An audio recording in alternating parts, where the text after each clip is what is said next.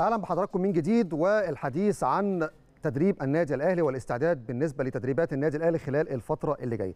بالتأكيد مباراة مهمة جدا مباراة غزل المحلة بعد التعادل مع الزمالك في الدوري الفترة السابقة 2-2 وبالطبع خلال الساعات اللي جاية في استعداد قوي جدا لمباراة غزل المحلة في ظل بعد التعادل مع الزمالك محتاج الثلاث نقاط ومحتاج تعمل فرق نقاط في الفترة الجاية في ظل كمان إن الأهلي عنده ثلاث مباريات مؤجلة في الفترة اللي جاية لكن سريعا نروح إلى الزميل العزيز كريم أحمد من مقر النادي الأهلي بالجزيرة عشان نعرف منه آخر الأخبار والاستعدادات بالنسبة لمباراة غزل المحلة والتدريب الأساسي والرئيسي هيكون بعد أقل من نصف ساعة بإذن الله.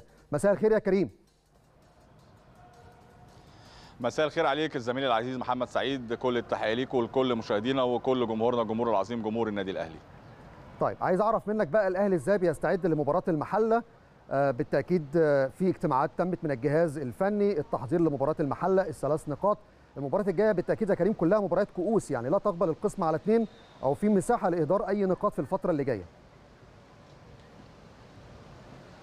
بالتأكيد طبعا زميلي محمد مرحلة دقيقة جدا في تاريخ النادي الأهلي وتحديدا مع لعيبة النادي الأهلي. ضغط غير طبيعي الحقيقة في المباريات والتدريبات. تعرف محمد طبعا بعد التعادل الأخير مع فريق نادي الزمالك تدريب النادي الأهلي ريكفري يوم ثم تدريب رئيسي ثم مباراة. 48 ساعة بتلاقي مباراة. فأمر صعب جدا الحقيقة على لعيبه النادي الأهلي وضغط كبير لكن محتاجين كل المجهود ومحتاجين التضحيات الكبيرة من لعيبة النادي الأهلي لدقة هذه المرحلة. عندنا مباريات مهمة جدا سواء في بطولة الدوري العام في بطولة الكاس. فيمكن ده الحديث مع الكابتن سيد عبد الحفيظ والكابتن سامي قمصان القائم بأعمال المدير الفني اللي اجتمع بلعيبة النادي الأهلي أمس.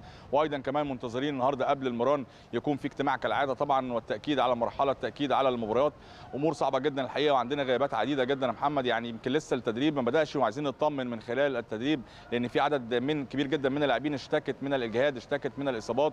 لو بذكرهم معاك طبعا يعني مستمر طبعا في التأهيل علي لطفي ومنعم طبعا وأيضا كمان أيمن أشرف اللي لسه منتظرين نشوفه حتى هذه اللحظة هيكون متواجد أو لا.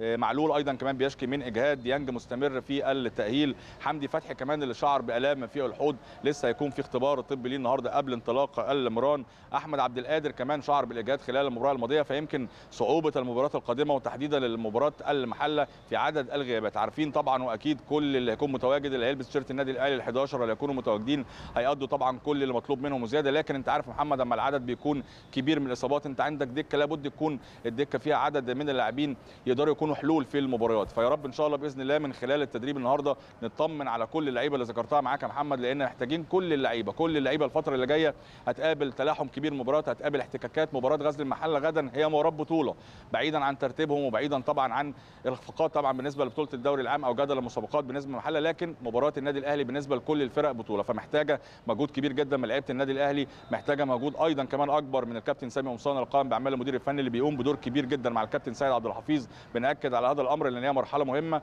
ومرحلة أكبر كمان ودورها أكبر للعيبة محمد يعني زي ما بنأكد على دور الجهاز الفني لا المرحلة اللي جاية دي دورهم أكبر دور لعيبة النادي الأهلي الجمهور بيساند وبيتواجد في المدرجات وبيآزر وبيدعم لكن منتظرين بذل مجهود أكتر من اللعيبة من كده مستنيين الروح منتظرين الشخصية. فيا رب إن شاء الله محمد تكون الأمور طيبة بالنسبة لفريق النادي الأهلي غدا في هذه المباراة. مباراة المحلة اللي هتكون على استاد الأهلي والسلام في التاسعة والنصف. يا رب إن شاء الله كل الأمور والمناخ والظروف تكون مع فريق النادي الأهلي ونقدر إن إحنا نتخطى هذه المباراة بثلاث نقاط. عايزين نجمع نقاط الفترة اللي جاية بإذن الله عشان يكون تركيزنا بقى بشكل كبير جدا في بطولة الكاس وغيرها. يا رب إن شاء الله محمد تكون الأمور طيبة لفريق النادي الأهلي. بإذن الله. الزميل العزيز كريم أحمد موفد قناة الأهلي واللي موجود حاليا في مقر النادي الأهلي بالجزيرة لمتابعة تدريب الفريق والدخول في معسكر مغلق قبل لقاء الغد. شكرا جزيلا ليك. وكل المعلومات والإيضاحات الخاصة باستعداد الفريق لمباراة المحلة بعد التعادل مع الزمالك. أخرج إلى فاصل وبعد الفاصل نرجع ونبدأ بقى نشوف السوشيال ميديا كتبت عن الأهلي وقالت إيه خلال الفترة الأخيرة.